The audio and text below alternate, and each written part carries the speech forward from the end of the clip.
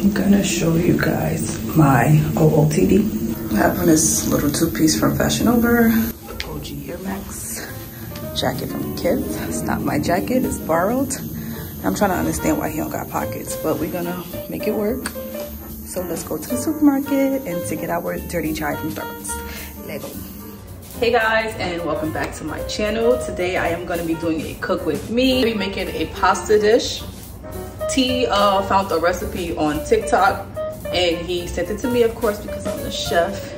no, but he wanted me to try to make this today. Well, not really try, but just make what this person made on TikTok. Recipe needed some chicken, so I got some organic chicken breast to make. Got some penne pasta noodles, heavy cream, chicken broth, some sun-dried tomato paste, spinach, baby spinach, creamy milk Italian cheese, and some garlic bread because I'm gonna make a side of garlic bread. So yeah, stay tuned. Um, I'm gonna get started. Before I start cooking, I'm just gonna run to Target. Um, I need to pick up a few things. And then once I get back, I will definitely, definitely start. This is the recipe here. Um, so I picked up everything that he's using for this dish and I am going to go ahead and make the same dish inspired by this TikToker or chef, might be a chef, I'm not sure. But yeah, so let's get started. Okay guys, so we're gonna start cooking. I cleaned the trays to my air fryer the other night, so we put everything away. So we can start with a clean kitchen. This can, I may need this later, but we're gonna put away for me. Starting off with the clean, thinly sliced um, chicken breast. I cut that up. My hands are clean, of course. Um, and I'm gonna be using the Italian season, some smoked paprika.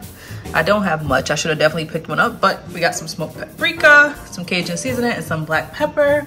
So I'm gonna go ahead and start seasoning this. Here I have my water boiling for the pasta, salt and water. And yeah, so let me go ahead and start seasoning the chicken and I will be right back.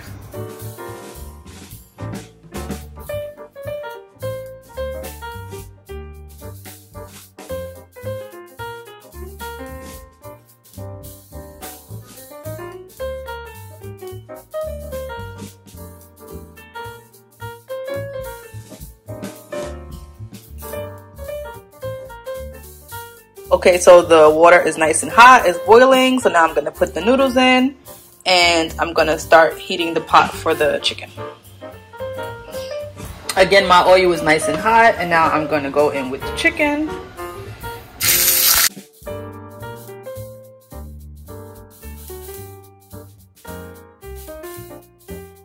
Something about me using this makes me feel like I'm a real chef.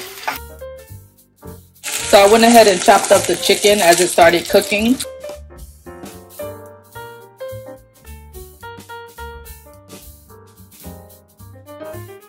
All right, so this is the butter, minced garlic, um, the dried tomato, the dried sun-dried tomatoes, um, the broth, and now I'm going in with the heavy cream, and I'm just gonna mix that all up.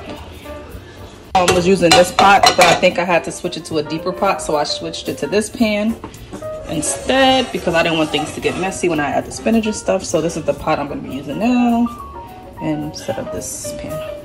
So I just poured everything over to here. Okay, now that this is coming to a boil, I'm gonna go in with some spinach. And I'm just gonna go ahead and dump it.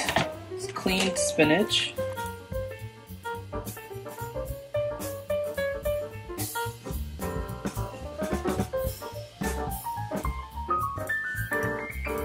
Gonna let the spinach cook down a little bit and then I'm gonna go in with the cheese. Okay, the pasta is added. The noodle pasta is added. Now you just have to mix in the sauce. And normally I'll just pour my noodles in a bowl and I'll pour the sauce sauce over it. But I'm just gonna do it this way today. Um, but I'm not gonna add the chicken or shrimp. I'm gonna add it on top. So yeah, I'm just mixing that up and I'm gonna be adding it to a pan in a second. Or to a bowl rather. So this is the finished product. This is the pasta. Um, I set some of the sauce aside to pour it on top once I'm ready to serve it so I can put it on the shrimp and chicken. This is the shrimp, this is the chicken, and now I just have to do the garlic bread and we will be all. We have the pasta here.